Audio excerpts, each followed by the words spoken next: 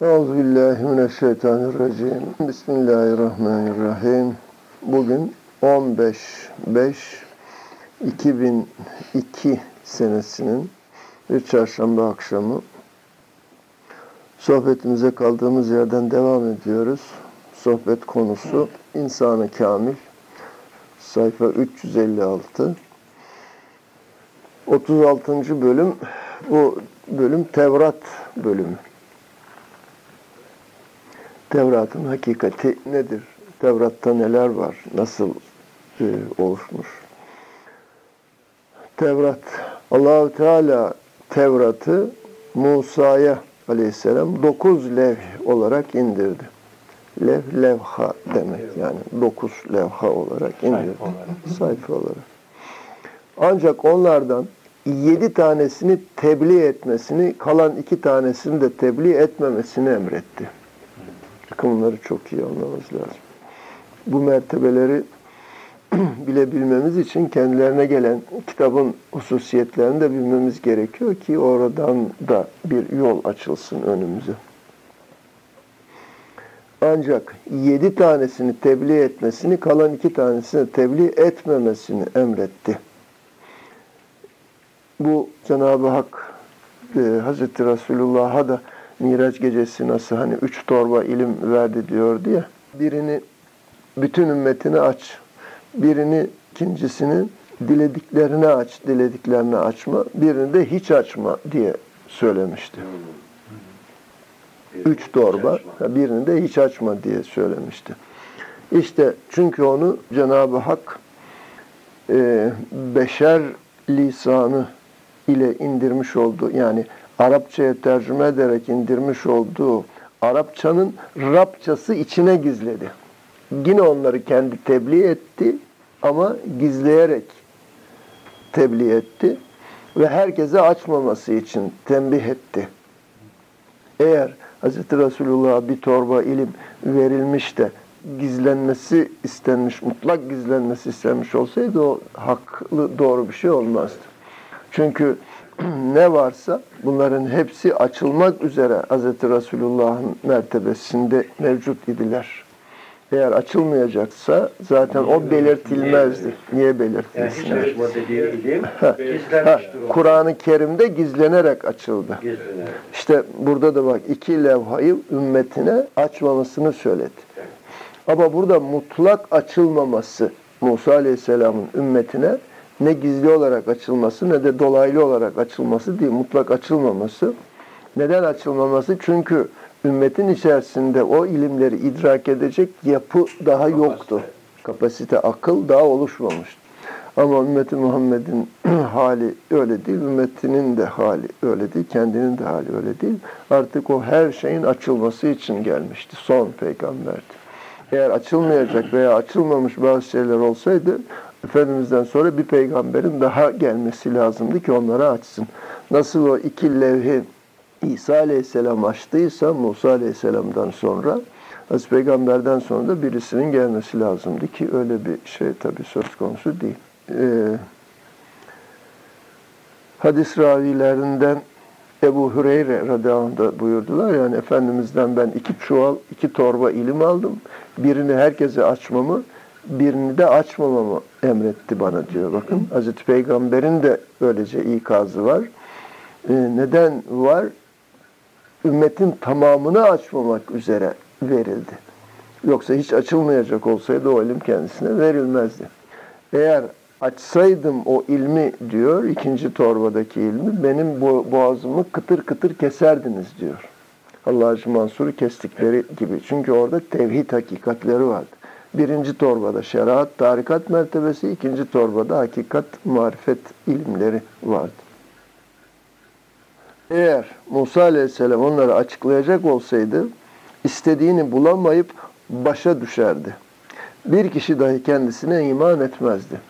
Çünkü orada tevhid-i İseviyet, İseviyet mertebesinin hakikatleri var. Kendisi Museviyet yani kendi mertebesini ortaya koyduğu için eğer onu da ortaya koymuş olsaydı söylediği sözlerde tezat olacaktı. Tezat gibi gelecekti veya ümmetini anlamayacaklardı, şaşıracaklardı. sen yanlış söylüyorsun diye daha çok inkar edeceklerdi tamamen. Kaldı ki o iki lef Musa aleyhisselam mahsustu. O zamane ehlinin hiçbirine değil haliyle kendisi hariç. Yani Musa aleyhisselam bunu anladı ama ümmetine anlatması mümkün değildi. Tebliğe emredilen lehvlerde evvellerin ve ahirlerin bilgileri vardı. Ancak onlarda Muhammed'in sallallahu aleyhi ve sellem ilmi, İbrahim aleyhisselamın ilmi, İsa aleyhisselamın ilmi, Muhammed'in sallallahu aleyhi ve sellem varislerine has ilmi yoktu. Bakın şimdi o levhalarda Muhammed'in sallallahu aleyhi ve sellem ilmi yoktu. Yani makam Muhammedi'nin ilmi yoktu verilen levhalarda yani Tevrat'ta. İbrahim Aleyhisselam'ın da ilmi yoktu. İsa Aleyhisselam'ın da ilmi yoktu. Muhammed Aleyhisselam'ın varislerine has ilim de yoktu. Bak en mühim mesele. Varislerine has da ilim yoktu. Varislerine verilecek ilim de yoktu. Çünkü Tevrat Muhammed'in sellem hususiyetlerini ve onun manevi varislerini zımnında taşımıyordu. Yani o bilgiler içerisinde yoktu. O bilgilerle yüklenmiş değildi. Bu levhler mermer taşındandı. Yedi tanesi yani. Musa Aleyhisselam'ın tebliğ memur olduğu yedi levha demek istiyorum. Diğer iki levha böyle değildi. Bunlar nurdandı latiftiler yani. Anlaşılmaları da latif yani daha üst mertebelerden, ilimlerden. O yedi levhin anlatıldığı gibi mermer taşından olmasının sonucudur ki onların kalplerinin katılaşmasına sebep olmuştur. Mermer taşından olmasının nedeni. nedeni. Yani mermer taşından olduğu için onların kalpleri katılaştı diyor. Yani bilgileri mermere yazıldığı için bu yönden sert oldu, kalpleri katılaştı diyor. Çünkü levhler taştandı. Aleykümselam. Bu yedi levhin tümden ihtiva ettiği şeyler yedi çeşitti. İlahi iktiza icabı bu levhlerin adedine göre durum bundan ibaretti. Şimdi o yedi levhi içinde bulunanlara göre sıralayalım. Birinci lev nur. İkinci lev hüda. allah Teala bu iki manayı şu ayet-i kerime ile bildirdi. Tevrat'ı biz inzal eyledik. Onda nur ve hidayet vardır. Peygamberler onunla hüküm verirler. 5'e 44. Üçüncü lev hikmet. Dördüncü lev kuva. Beşinci lev hüküm. Altıncı lev ubudiyet. Yedinci lev saadet yolunun şekavet yolundan ayırt edilip aydınlatılması. Bir de daha uygun olanın beyanı. İşte Musa aleyhisselam tebliğ için emir aldığı yedi lev bunlardı. Yani bu mevzuları açabildi ümmetine. Musa aleyhisselam mahsus olan iki levhe gelince onlar da şuydu. Birinci lef rububiyet, ikinci lef kudret. Yani Rablık hakikati, ikinci lefte kudret. Zaten Museviyet mertebesi de rububiyet mertebesi olduğundan bak burada da bu aşikare belli oluyor. Musa'nın aleyhisselam ümmeti içinde kemale eren kimsenin bulunmayışı son anlatılan iki levhin kendilerine tebliğ edilemeyişinin sonucudur. Tebliğ edilemezdi çünkü dokuz levhin tüm tebliğ için emir almamıştı. Bakın nasıl sistem. Aynı burada dokuz lev, Museviyet mertebesi dokuzuncu mertebe. Bizim seyir sülükte evet. dokuzuncu mertebe. Dokuz lev ama iki levhini kendine mahsus olmakta. Kendisinde sonra da kemale eren kimse olmadı. Kendisinden sonra da kemale eren kimse olmadı. Kendisinin manevi varisi de olmadı. Bak Musa Aleyhisselam. Haliyle Resulullah sallallahu aleyhi ve sellem Efendimizin durumu böyle olmamıştır. Çünkü o hiçbir şey bırakmayıp bize ulaştırdı, tebliğ etti. Nitekim şu ayetler bize bu manayı açık olarak anlatır. Biz kitapta hiçbir şeyi eksik etmedik. Her şeyi onda ayrıntılarıyla açıkladık. İşte bu ayetler hiçbir şeyin kalmadığını, kapalı bir hususun kalmadığını göstermek. Anlatılan manaların bir icabıdır ki Resulullah sallallahu aleyhi ve sellem Efendimizin milleti milletlerin hayırlısıdır. Getirdiği din tüm dinleri hükümsüz bırakmıştır, kaldırmıştır. Çünkü Resulullah sallallahu aleyhi ve sellem Efendimiz diğerlerine gelenlerin hepsiyle gelmiştir. Üstelik onlara verilmeyenleri de getirmiştir. 9. mertebe Museviyet, 10. mertebe İseviyet, onlara verilmeyen 10 ile 11. mertebeler. Yani bakabillah ve insanı kamil mertebeler. Yani hakka bağlayıcı mertebeler. Bir yere kadar geliyor geliyor ama tavan yukarıda olduğu için orada boşluk kalıyor. Onun için hakka ulaşamadılar işte diğer peygamberler. O arada iki merdiven, iki boşluk vardı. Hazreti Peygamber de o boşlukları doldurunca Hakk'a ulaşma yolu merdiveni tamamlanmış oldu.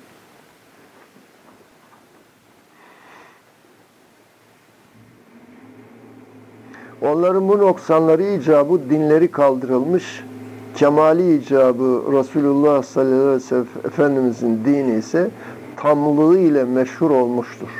Bütünlüğüyle. Bu mana ise şu ayet-i kerimeli sabittir. Bugün dininizi size tamamladım. Sizin için din olarak İslam'a razı oldum. El yevme ekmeltü leküm dinüküm ayetinden 5'e 3. Bu ayet-i kerime Resulullah sallallahu aleyhi ve sellem Efendimiz'den başka hiçbir peygambere gelmemiştir. Hiçbir kitapta da böyle bir ayet-i kerime yok.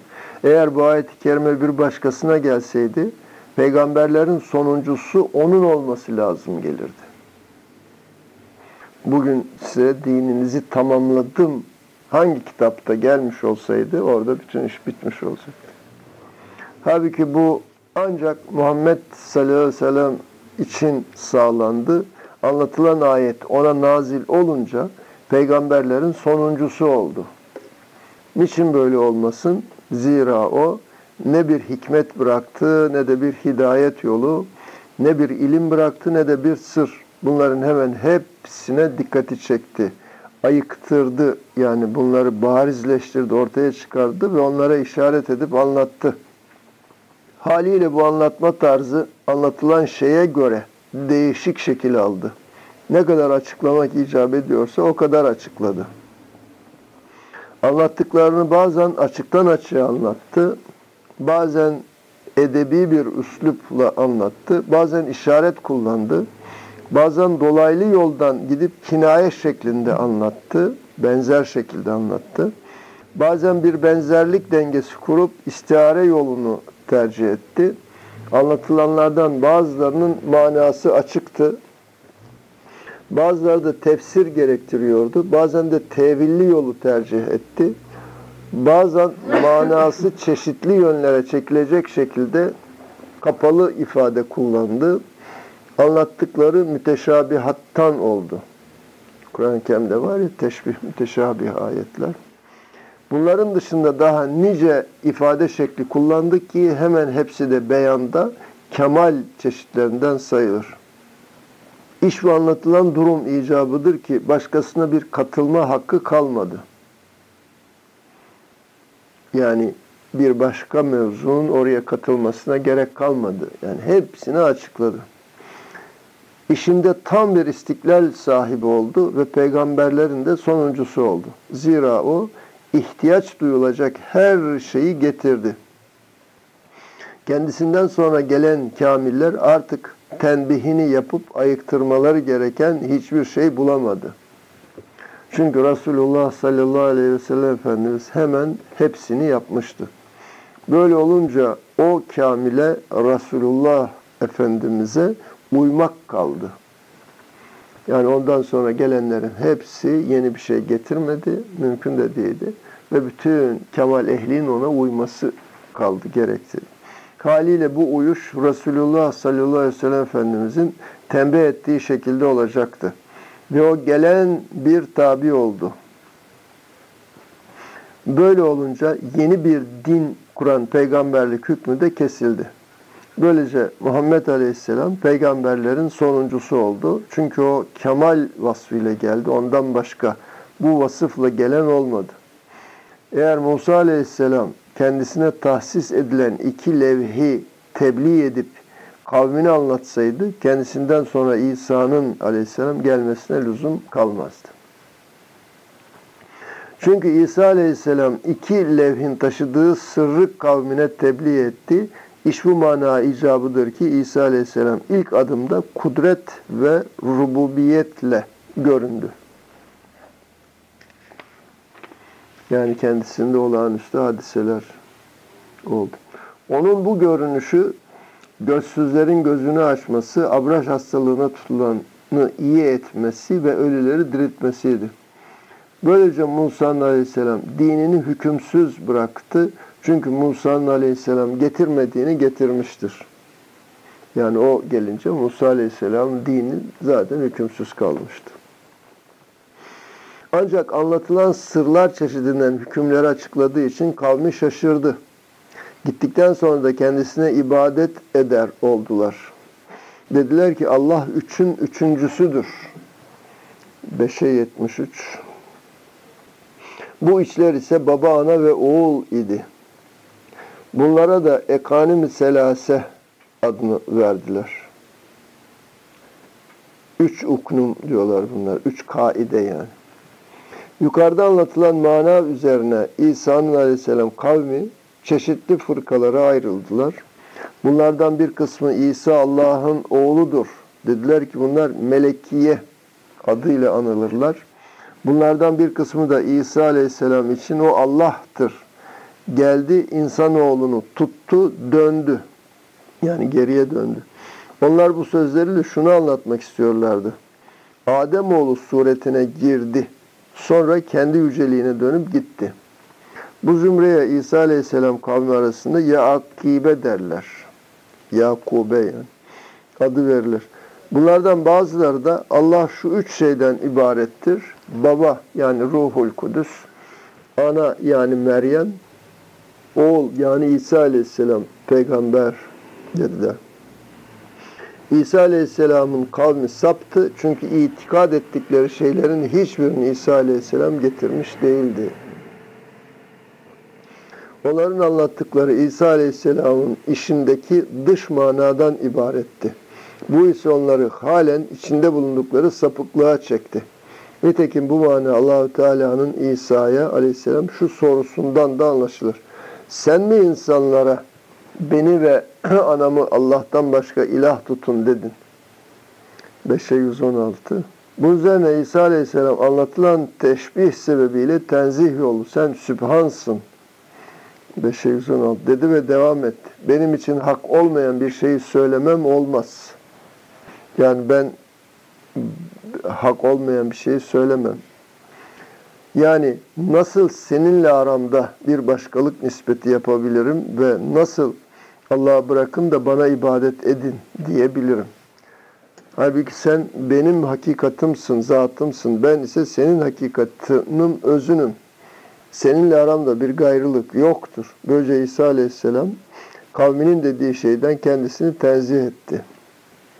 Çünkü onlar tenzihsiz olarak mutlak bir teşbih yoluna girmişlerdi. İtikatları buydu. Ne demek bu? Böyle bir şey ise Allah'tan reva değildi. Yani tenzih hakikatini, yani Cenab-ı Hakk'ın varlığını, e, tenzih hakikatini ortaya koymadan sadece teşbih olarak Cenab-ı Hakk'ın varlığını bir yerde müşahede etmek. Oraya sınırlandırmak. İşte bu da putperestlik demek oluyor. İsa Aleyhisselam eğer deseydim yani İsa'lık hakikatinin Allah olduğunu söylemiş isem bunu sen bilirdin.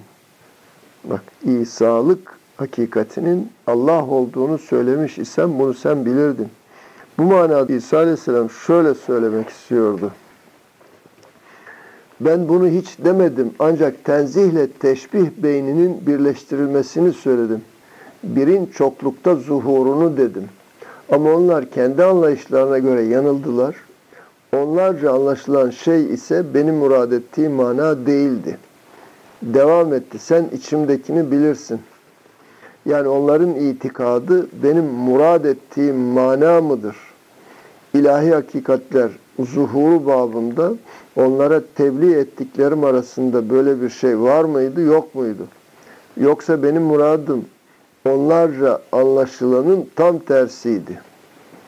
Devam etti. Ayet-i Kerime'nin ifadesiyle. Ben sende olanı bilmem. Bununla İsa Aleyhisselam şöyle demek istiyordu. Ben bu tebliği onlara ulaştırdım ama içinde onları saptırmak babında olanı bilemem. Eğer bilseydim onların sapmalarına sebep olacak bir şeyi tebliğ etmezdim. Devam ettiğine ayet-i kerimeden sen gayipleri bütün inceliğiyle bilirsin. Ben ise gayipleri bilemem. Beni mazur gör. Devam etti ayette. Onlara söylediğim ancak bana emrettiğindir. Şöyle demek istiyordu. Seni kendimde bulduğum kadarını söyledim. Böylece emri tebliğ ettim, onlara nasihatte bulundum. Ta ki onlar da kendilerinde sana çıkan yolu bulalar. Bu yoldan ilahi hakikati onlara açıkladım ki içlerinde olan şey kendilerine açılmış ola. Onlara sözüm sizin de Rabbiniz, benim de Rabbim olan Allah'a ibadet ediniz cümlesinden başkası değildi diyor.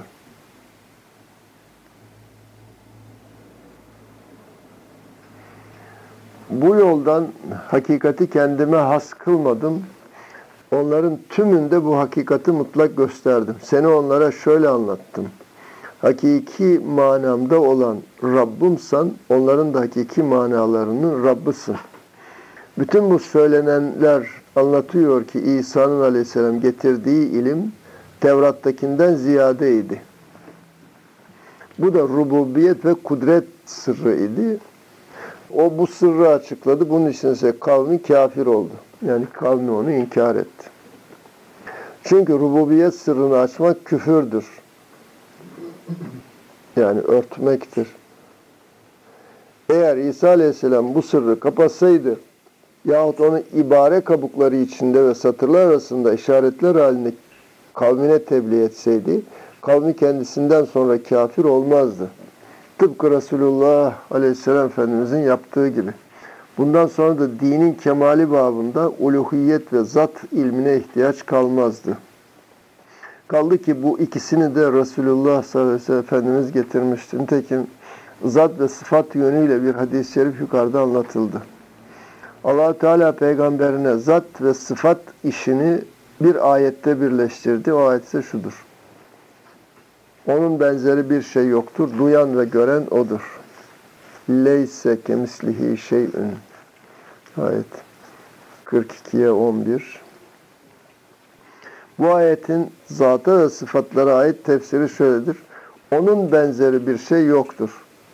Yani zatı taalluk eden yönünden. Duyan ve gören odur. Yani sıfatlara taalluk yönüyle. Onun benzeri bir şey yok dediği zaman zatı mutlaktan bahsetmekte. Onun ne olduğu malum değil. Hiç kimse için malum değil. Benzeri yok. Hani bu sıfatı e, zatiyesinde de var ya var edilenlerin hepsinin dışında. Muhalefetül üns havadisi. O yönüyle duyan ve gören odur yönüyle de sıfatlarıyla taluk eden yönüdür. Yani o yönüyle bilmek mümkün. Eğer İsa'nın aleyhisselam kavmine tebliğ ettiğini Musa aleyhisselam da tebliğ etseydi kavmi Firavun'un katli işinde kendisini itham ederdi. Burası çok bir mesele. Firavun demişti ki ben sizin hala Rabbinizim. 79'a 24. Bu bir iddia idi. Rububiyet sırrının ifşası ise ancak Firavun'un bu iddiasını verebilirdi. Eğer Musa Aleyhisselam da kendindeki varlığı İsa Aleyhisselam mertebesi itibariyle yani kudret, rububiyet ve kudret levhleri içindeki ilmiyle söylemiş olsaydı aynı Firavun'un söylediği sözü söyleyecekti. Evet. Yani lisan olarak o çıkacaktı. Gerçi Firavun onun nefsinden söyledi. Musa Aleyhisselam da ilahi nefsinden İlahi nefsinden söyleyecekti. Ama halk bunu anlayamayacağı için o zaman ikiniz de aynı şeyi söylüyorsunuz. Niye kavga ediyorsunuz birbirinizle diye Firavun'a daha çok yöneleceklerdi. Çünkü Firavun dışarıdaki zenginliği Musa'dan Aleyhisselam'dan daha fazla olduğu için Musa Aleyhisselam'a kimse itibar etmeyecekti. Onun öldürülmesini o zaman izah edemeyecekti. Ed- edemeyecekti. İkiniz aynı şeyi söylüyorsunuz. Firavun'un söylemesi belki mazur. Ama e, peygamberin söylemesi Yok onu zaten o mertebe onu açma mertebesi değil. İşte onu açma mertebesi İseviyet mertebesi. İseviyet mertebesinde onun açılması ancak daha evvel o kavim buna hazırlanmadığı için de İsa'dan da red görmüş olmasına sebep oldu. Ama Muhammed Aleyhisselam'ın kavmi öyle değil. Muhammed Aleyhisselam hiç kendinde böyle bir uluhiyetin olduğunu e, ve tenzih ağırlıklı vaaz etmesi yani dinini tenzih ağırlıklı vaaz etmesi zahirini tenzih üzerine batınını tenzih ve teşvih, tevhid üzerine kurması yönüyle bugünlere doğru ve sağlam geldi. Diğerleri zahir ve batın ayırmadan zahiri üzere kurdular. Yani her şeyi zahir, şeriat üzere, zahirde kurdular. Batın yönleri yoktu. Ama İslam dini bütün mevzuları, bütün mertebeleri içinde ihtiva ettiğinden zahir ağırlıklı ama aynı şekilde batıni ifadeleri de özünde bulunduruyordu. yani hem, Hem açma hem kapatma. Hem açtı Hem- hem kapattı ve sonra ikisini de birleştirebildi. Yani açtıklarıyla kapattıklarını da birleştirebildi. Açtıkları bir tarafta, kapattıkları bir tarafta ayrı kalmadı. Kapattığını da e, belirli ifadeler içerisinde açmış oldu. Onu da o açılımı da ehli ancak anlayabildi. Ehillerine açıldı. Yani herkes aradığını bulabiliyor. Bulabiliyor. İşte bütün bütün mertebeler içinde olduğu için işte bunun da zorluğu zahirine takılıp kalanlar batın eremedikleri için inkar ettiler. Yani bizde de aynı inkar var. Evet. Ama bizde batınını anlayacak idrak sahipleri olduğundan yani e, ümmeti Muhammed'in Hazreti Resulullah'ın ümmetinde batınını anlayacak e, varlıklar, kimseler, varisler olduğundan onlarda da o hüküm, o yönüyle kemale erdiler. Eğer batını olmasaydı İslam dininin yine zahir üzere kalacak. Sadece şeriat ehli olacaktık. Eğer Musa Aleyhisselam Tevrat'ta rububiyet ilminden bir açıklama yapsaydı kavmi kendisini inkar ederdi. Firavun'la çekiştiği için ise onu ayıplarlardı, itham ederlerdi. Ya. Bu bakın şu mevzu tevhid hakikatini anlayabilmek için o yolda çok güzel bir örnek. İş bu sebepledir ki o ilmi gizlemekle emrolundu. Tıpkı Resulullah sallallahu aleyhi ve sellem Efendimiz de kendisinden başkasının kabul edemeyeceği bazı şeyleri gizlemekle emrolunduğu gibi. Bunu kendisine istinaden rivayet edilen bir hadise dayanarak söylüyoruz. Şöyle buyurdu. Miraca götürüldüğüm gece bana üç ilim verildi. A. Bir ilim idi ki gizlenmesi için benden söz alındı. B. Bir ilim idi ki tebliğ arzuma bırakıldı. C. Bir ilim idi ki tebliğ ile emir olundum. Gizlenmesi için kendisinden söz alınan ilim ilahi sırlardır. Bütün bu sırları tümden Allahu Teala Kur'an'a yerleştirdi. Tebliğ ile emir olunduğu ilim zahir idi. Tebliğ arzusuna bırakılan ilim de batın idi. Şu ayet-i kerimeler batın ilmini anlatır. Afakta ve kendi nefislerinde ayetlerimizi onlara göstereceğiz ki hak olduğu açıktan kendilerine belli olsun. 41'e 53 Senurihim ayatina fil afaki ve fi enfusihim hatta yetebeyyenel hakku min rabbihim diye bu ayet. İbrahim mertebesinden. Afak neydi? Kişinin kendi varlığının dışında ne varsa afak. En yakınından en ufka kadar, görebildiği, göremediği yere kadar. Nefste kendi bünyesi içinde olan da kendi nefsi. Yani şu etin bir milimetre dışı yani etinin dışında temas eden hava dahi afak senin için. Ufuk dış yani. Hatta şu saç tüyün bak kökü nefsin ucu afaktır. Yani uzantısı afaktır. Çünkü senin dışına çıkmıyor. Bak şu saçını kaldırdığın zaman şu saçın uzantısı afak senin için. Kökü nefis, uzantısı afak. Gökleri yeri ve aralarında olanı hak olarak halk ettik. 15'e 83. Yerde ve göklerin hepsini kendinden size ram eyledi. Ona ruhumdan üfledim gibi. Yerde ve göklerin hepsini kendinden size ram eyledi. 45'e 13. Ona ruhumdan üfledim. 15'e 29. Bu ayetlerin altı manaların iki yüzü vardır. Hakikat yönüne delalet eden A, B, şeriat yönüne delalet eden. Durum anlatıldığı gibi olunca yerleşmeye bağlı bir hal meydana çıkar. Kimin kabiliyeti varsa o kazanır. Bir kimsenin ilahi bir anlayışı var ise bu tebliği alır, makamına ulaşır. Anlatıldığı gibi bir anlayışa sahip olmayana gelince o hakikatler kendisine anlatıldığı zaman derhal inkar yoluna sapar. Kendisine bu gibi hakikatlerin anlatılmamasına sebep ise sapmamasını temindir, şekavetinde önlemektir. Bazılarına bunlar anlatılmaz, sapmaması için eğer anlatırsan sapacaklar yahut inkar edecekler yahut savaşmaya başlayacaklar. Batını inkar et. İnkar ediyorlar. Batını yoktur diyor. Gizlenmesi için söz alınan ilim derin manalı olduğundan tevil yolu Kur'an'a konmuştur. Bak demin dedi hani gizlenmesi için söz alınan ilim derin manalı olduğundan tevil yolu Kur'an'a konmuştur. Bunu da ancak ilmin özünü bulanlar bilir. Baş şart bu. Bir de ilahi keşif yolu ile bilinir. İşte bu mertebeler olmasa İslam'ın içerisinde İslam'ın ilerilerine doğru Cenab-ı Hakk'ın gerçek varlığını, kimliğini anlamaya doğru bize yol, yollar açılmamış olur. Ama bu yollar İslam'ın içerisinde mevcut fakat sistemin oluşturulması gerekmekte. Bundan sonradır ki o kimse Kur'an'ı dinler ve onun mahallini bilir. Yani Kur'an'ı dinler, ayetleri dinler. Dinledikten sonra hangi mertebeden geldiğini, hangi mahalden kaynaklandığını o ayetinde bilir. Yani Allah'ın Kur'an'a yerleştirdiği ve onu gizlemesi için Resulullah sallallahu aleyhi ve sellem Efendimiz'den söz aldığı ilmi Kur'an'dan öğrenir diyor.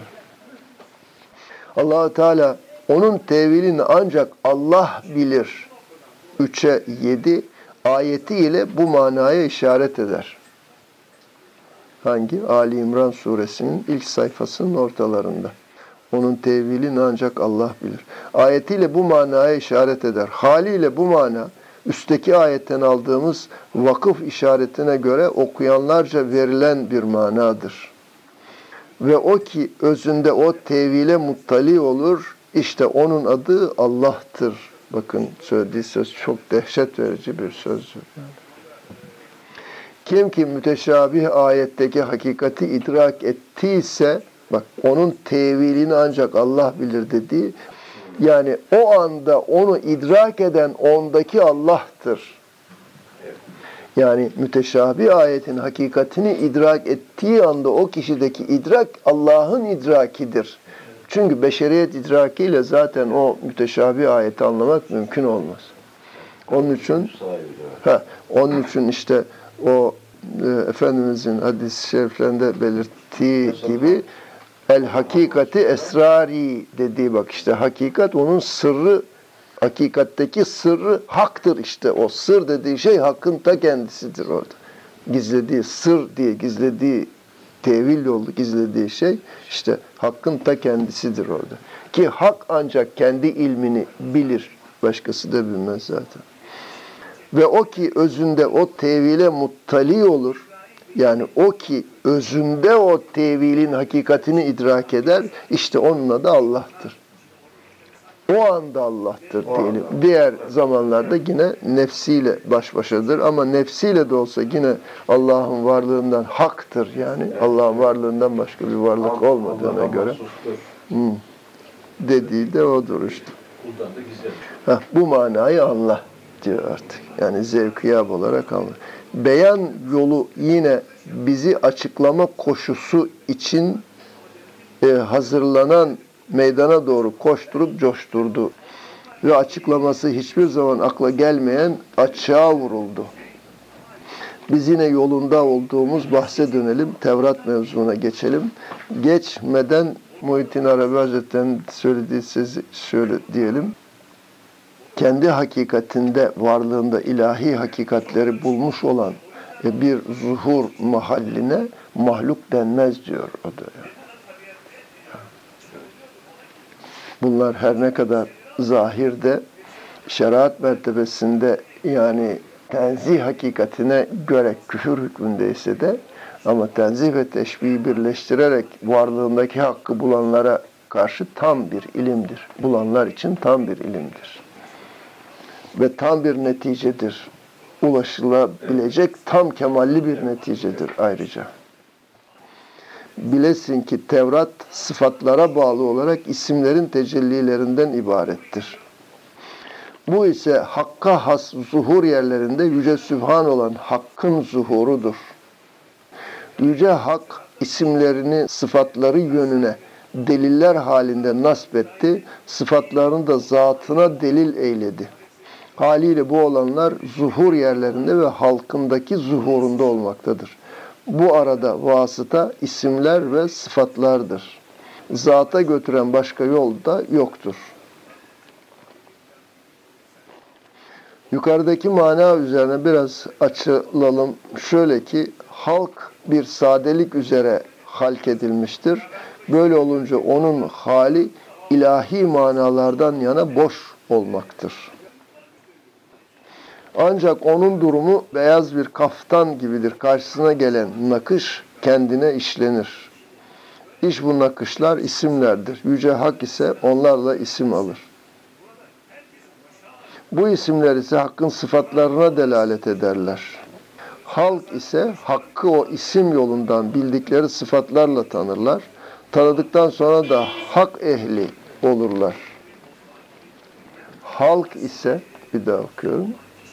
Hakk'ı o isim yolundan bildikleri sıfatlarla tanırlar. Tanıdıktan sonra da hak ehli olurlar. Yani isimlere bakarlar. İsmin özündeki sıfatı bilirler. Sıfatı da idrak ettikten sonra onun da zata dayandığını bilirler. O zaman hak ehli olurlar. Hak ehli olanlar ise anlatılan yoldan onun zatına doğru yolu bulurlar. Bunu bulduktan sonra onlar isimlere ve sıfatlara birer ayna gibi olurlar. Onlar ki böyle oldu, isimler onlarda zuhura gelir. Keza sıfatlar da. Burada işte işte bak şimdi ayna olur diyor. Yani evvela hakka doğru giderken isimlerin hakikatini öğrendikten sonra müşahede onu seyrederken sıfatların hakikatini bilirler. Sıfatlardan da zata yani hakka ulaşırlar. Sonra o idrak edenler parlamaya başlarlar ve onlar o hakkın isimleri, sıfatları onda ayna olup aksetmeye başlar. Yani kendinde zuhura gelmeye başlar. Bak bu ikinci mertebe zuhur. Evvela idrak mertebesi böyle ulaşma, sonra onların kendindeki tecellilerini idrak etmeye başlarlar. İşte onlar ki böyle oldu, yani idrak ettiler ve bunu bulduktan sonra yani bu idrak erdikten sonra onlar isimlere ve sıfatlara birer ayna gibi oldular. Yansıtmaya başladılar. Onlar ki böyle oldu yani ayna oldu. İsimler onlarda zuhura gelir. Keza sıfatlar da zuhura gelir. İş bu zuhurdan sonradır ki nefislerini kendilerine işlenen zata bağlı isimlerin ve sıfatların nakşı ile bilirler. Yani nefislerine Cenab-ı Hakk'ın yansımasıyla bilirler. Bundan sonra Allahu Teala zikredildiği zaman zikredilen kendileri olur. Bu da nakşını aldıkları ismin bir icabı olur. İşte Tevrat'ın manası yukarıda anlatılanlardır. Bundan sonra Allahu Teala zikredildiği zaman zikredilen kendileri olur. Bak kim bu hakikati idrak etmişse heh, olur. Bu da e, zikredilen kendileri olur. Bu da nakşını aldıkları ismin bir icabı olur. İşte Tevrat'ın manası yukarıda anlatılanlardandır. Hani Ehlullah'tan birisini birisi aramaya gelmiş de sormuş sormuş sormuş işte şurada oturuyor demişler. Nihayet işte şu evde nihayet çıkıp merdivenlerden kendisini bulmuş. İşte falan kimse nerede ben onu arıyorum deyince e ben de onu kaybettim onu arıyorum diye cevap vermiş.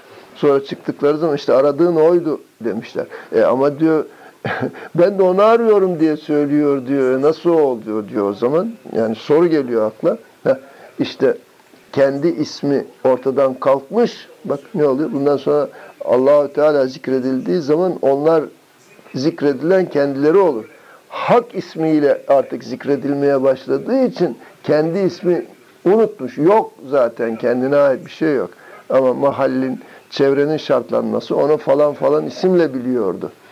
Ama o da kendini baştan öyle biliyordu ama sonra idrak ettiğinde ki kendinde haktan başka bir şey yok. Bu sefer Allah diyen onu zikretmiş. Onun ismi o olmuş oldu. Ondan sonra eski ismiyle çağırdıkları zaman bilmiyorum dedi tabii. Hak, haliyle yani haklı olarak. Böyle söyleyeyim diyor.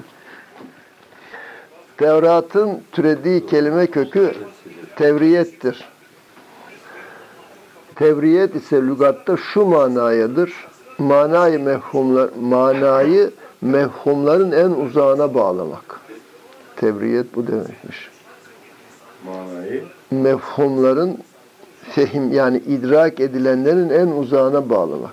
Bundan evvelki Tevrat'tan evvelki kitaplar bu kadar geniş manalı, kapasiteli değildi. Bu mana ise avam halka göredir. Çünkü onlara göre hakkın sarih olarak açıktan anlatılışı itikadi bir hayaldir. Avam halk için bundan başka ne olabilir ki? Yani sıradan insanlar elbette olamaz. Yani anlatılan mananın dışında bir şey olamaz diyor. Ama irfan sahipleri katında hak kendi zatlarının hakikatidir. Haktan murat da kendileridir. Ne kadar açık yazıyor. Bu tür konuşmamız Tevrat'a işaret konuşması sayılır. Şimdi Musa'ya aleyhisselam gelen yedi lefte neler vardı onların açıklamasına geçelim. Yukarıda özet olarak anlatıldı. Burada tavsil yoluna gidilecektir. Birinci leh nur levhi. Burada şunu bilmen gerekir ki bu lefte bulunan ilim çeşitleri yalnız levhin aldığı o isimden ibaret olmamaktadır. Ee, bunda olsun, diğerinde olsun kalan levhlerdeki ilim çeşitleri de bulunur. Ancak bir levh için hangi hüküm galip ise onunla isim verilmektedir. Tıpkı Kur'an suretlerinde olduğu gibi. Bir surede hangi iş ağır basarsa o sureye o işin adı verilmektedir. Halbuki o surede hem adını aldığı ilim çeşidi vardır hem de başkaları vardır. Yani her ne kadar Kur'an sureleri hangi ismi almışsa o isim yönünde ağırlığı vardır ama başka ilimlerde de vardır içinde diyor. Nur levhinde Yüce Hakk'ın vahidiyet ve teklik yolundan vasfı vardır ama mutlak bir tenzih yolu ile. Bir de Yüce Hakk'ı halktan ayırt eden hüküm vardır. Burada ayrıca Hakk'ın rububiyeti ve kudreti de anlatılır. Haliyle bu anlatmada onun güzel isimleri ve yüce sıfatları vardır. Bütün bunlar üstün ve tenzih yoluyla Hakk'a layık bir şekilde anlatılır. Yani nur levhi adı verilen lefte burada bildirilen ki bu peygamber diye bir şey değil bu insan. Ama bugün Musevilerin elinde olan Tevrat'tan daha güzel bilgi vermekte. Evet. Daha gerçekçi bilgi vermekte, daha özünü vermekte. Ya neden? Çünkü ümmeti Muhammed'in varisleri bunlar veliler olduğu için onlardan daha yüksek ilme sahip. O yüzden verebiliyor. Başka türlü veremez. İkinci lev hüda. Bunun için hakkın özünü anlatan ilahi haberler vardır bunun içinde. Bu zevke dayanan bir ilimdir. Müminlerin kalbine ilham yolu ile gelen nur suretindedir. Çünkü hüda kendi özünde ilhama bağlı bir varlığın sırrıdır. Kulları aniden yakalar. Bu ise ilahi cezbenin nurundan ibarettir. Öyle bir cezbe nurudur ki irfan sahibi onun içinde yüce manzaralara terakki eder ama ilahi bir yoldan.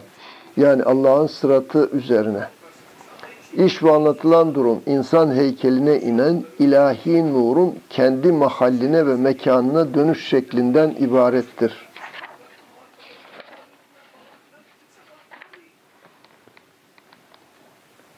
Bitirelim bu bölüm diyor. İş ve anlatılan durum insan heykeline inen ilahi nurun kendi mahalline ve mekanına dönüş şeklinden ibarettir. Burada hüda anlatılan nura sahip olan kimsenin ahadiyet yolundan üstün mekana ve en güzel seviyeye ulaşmasından ibarettir. Ama ne belli bir cihet ne de belli bir yön vardır. Bu lefte milletlerin hallerine dair keşfin ilmi vardır. Onlardan öncekilere ve sonrakilere dair haberler de vardır. Ruhlar alemi sayılan melekut ilmi de bundadır. Ruhlar alemine hakim olan ceberut aleminin ilmi de bundadır. Bu ise Hazreti Kudüs'tür. Yani mukaddes Hazrettir. Yine bu lefte bulunan ilmler arasında berzah ilmi vardır. Ayrıca kıyamet ve kıyamet günü mizan, hesap, cennet, cehennem anlatılır. Yine bu lefte bulunanlar arasında tüm muhakkikilerin haberleri vardır. Eşkal, suret, tılsım cinsi şeylere konan sırlar ilmi de bu lefte bulunanlar arasındadır. İsrailoğulları bu sırları bilmekle nice işler gördü. Şaşırtıcı kerametleri de yine bu esrarı e, bildiklerinden göstermişlerdir. Onların içinde en çok e, tılsım işleri dünyada en çok onlar tarafından biliniyordu. Yani o kitapları içerisinde de vardı bu güçler. Ki bugünlere kadar da onlardan geldi. Ama bu şeylerde de var. Hristiyanlarda da var. Tabii Müslümanlarda da var. İçinde, onların içinde de var. Üçüncü lev hikmet. Bunda ilmi sülüklerin şekillerini bilmek vardır. Haliyle bu tecelli ve zevk yolundan olmaktadır. Bütün bunlar ilahi ve kutsi makamlarda olmaktadır. Bu olanlar arasında nalınlarını çıkarmak, tuğra çık çıkmak, ağaçla konuşmak, gecenin karanlığında ateş görmek vardır. Daha suresi. İşte Kur'an-ı Kerim'de Musa Aleyhisselam'dan bahseden ayetler Tevrati ayetlerdir. Musa Aleyhisselam'dan ne kadar sure, ayet varsa Kur'an-ı Kerim'de hepsi Tevrat'tır onlar. Yani Kur'an'ın içindeki Tevrat'tır. Çünkü dört kitabın manası hepsi içinde mevcut ya. Bütün bunlar ilahi sırlar meyanında sayılır. Bu lef emre amade kılmak ve bazı yoldan ruhani gelişleri bilmenin aslıdır. Anlatılan çeşitteki ilahi hikmetler babında her şeyin ilmi bu leftedir. Yani hikmet levhinde. Heyet, hesap, gök ilminin aslı da bu lefte bulunanlar arasındadır. Ağaçların ve taşların ve bazı şeylere ait ilmin temeli de bu leftedir. İsrailoğlu arasında bu levhin ilmini bilen rahip olmaktadır. Onların dilinde rahip, Allah'lık olan dünyayı bırakıp Mevla'ya yönelen kimse demektir. Rahip ne demekmiş? Onların dilinde rahip, Allah'lık olan. Yani Allah'a yönelen, dünyayı bırakıp Mevla'ya yönelen kimse demektir. Dördüncü lev kuva. inen hikmete dair işlerin ilmi ve beşeri güçlerde bulunanların ilmi bu leftedir. Ki bu manevi zevklere dayanan ilimdir. İsrailoğlundan da bir kimsede bu ilim hasıl olursa o hibir olmaktadır. Hibir olmak ise Musa Aleyhisselam manevi varisi olmak mertebesine çıkmak sayılır. Hibir. Bu lefte remizler, işaretler, misaller çoğunluğu teşkil eder. Hikmet ilahiyenin beşeri güçlere konması sebebiyle Hak Teala onlara, onları misal yolu Tevrat'a yerleştirdi, bildirdi. Nitekim aynı manada Yahya aleyhisselam buyurduğu şu emirle dikkati çekti. Ey Yahya kitabı kuvve ile al. Daha çocukken ona hikmet verdik. 19'a 13. Bak burada da var. Serif Hoca. Ey Yahya kitabı kuvve ile al. Daha çocukken ona hikmeti verdik. 19'a 13. Görülüyor ki bir şeyi kuvve ile almak ancak hikmeti bilen ve ilahi nura yol bulan için mümkün olmaktadır. Bunu anladıktan sonradır ki ilahi hikmetten yana bildiği kadar duygulara çıkarmaktadır. Bu iş manevi zevke dayanan bir iştir. Kimde bu çeşit zevk varsa manasını o anlar, başkası anlayamaz. Kaldı ki bu havas zümresine ait bir iştir. Avam için değildir. Avam sıradan insanlar. Havas ne demek? Duygulu insanlar demek. Havas duygu demek. Evet. Heves değil, havas. Bu havas duygular demek. Havası hamse-i zahire, havası hamse-i batını diyorlar ya. Havası hamse-i zahire, beş duygu, insandaki beş duygu. İşte görme, tatma, duyma, dokunma gibi duygular. Bir de bunların batını. Havas duygu, duygusal insanlar demek. Hassas insanlar demek. Havasül havas bir de var. Duyguluların duyguluları. Yani daha hassas insanlar demek. Kaldı ki bu havas zümresine ait bir iştir. Avam için değildir. Avam da sıradan insanlar. Ham ervah diyorlar bunlara. Simya ilmi de bu lefte bulunanlar arasındadır. Üstün büyü şekli de bu leftedir ki bu bir bakıma kerametlere benzer. Bakın buna üstün büyü dememin sebebi onun e, ilaca bir işleme tabi tutmadan ve bir şey söylemeden oluşudur. Bunun oluşu sırf insanda bulunan büyüleme gücüne dayanır. Bak, bu Yahudilerin arasında çok şiddetli. Bu durumda işler büyü yapanın arzusuna göre olur. Bu işte o büyü yapan hayal aleminde bulunan suretleri bu his alemine gösterir. Elde edirilip tutulacak, görülecek gibi yapar. Bunun oluşu şu şekildedir. Ona bakanların gözünü kendi hayal alemine sokar, o hayale istediği sureti verir, sonra bakanlara o sureti gösterir, onlar da onu gözleriyle görürler. O iş hayalen olmaktadır ama o bakanlar bu his aleminde olduğunu sanırlar. Yani maddi yapılı olduğunu sanırlar. Hayal gibi gözüküyor ama maddi zannederler. Bak, mertebe fark var. Hayal aleminde oluşan şey ama biz onu kafamızda his aleminde gibi idrak ettiğimizden, şartlanmalarımızdan dolayı biz onu his alemine indirmekteyiz ve ona bir şey kazandırmaktayız. Süle bir maddi yapı kazandırmaktayız. Ve o zaman da onu var olarak görmekteyiz. Yani biz onu oluşturmaktayız farkında olmadan. Bu iş tevhid yolunda benim başıma geldi bu vücutta hangi suretle olmayı istersem o surete giriyordum. Hangi işi yapmayı istersem o işi yapıyordum. Ama bu hakikati hak yolunda idrak ettiği için karşı tarafa herhangi bir zorlama, herhangi bir kötülük yapmak şekliyle kullanmamakta. O güç onda da var. Ancak bu işin tehlikeli bir yol olduğunu bildiğim için bıraktım. Ya.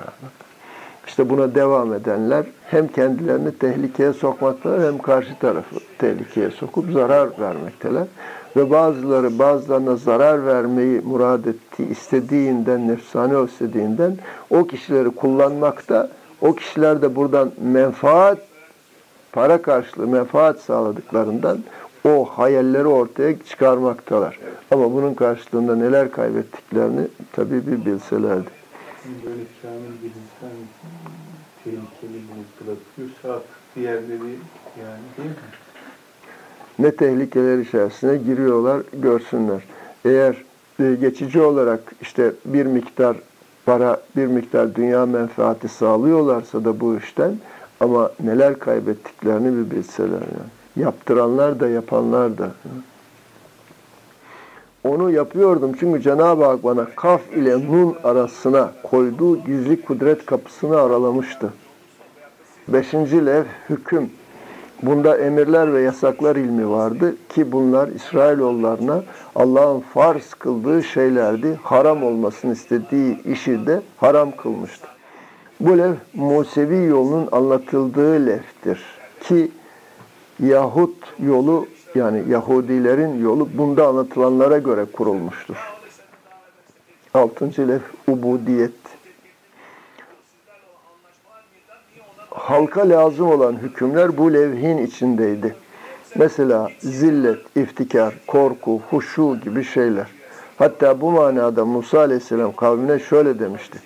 İçinizden biri kötülüğe karşılık kötülükle ceza verirse Firavun'un tanrılık davasına benzer bir davaya girmiş olur. Çünkü kulun iddia edecek hiçbir hakkı yoktur. İçinizden biri kötülüğe karşılık kötülükle ceza verirse, bak öyle derler ya, kötülüğe karşı kötülük bizde de herkesin harcı. Ama kötülüğe karşı iyilik Evet. her kişinin harcı. Evet.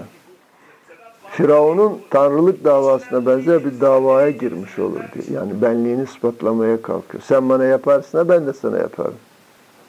Çünkü kulun iddia edecek hiçbir hakkı yoktur.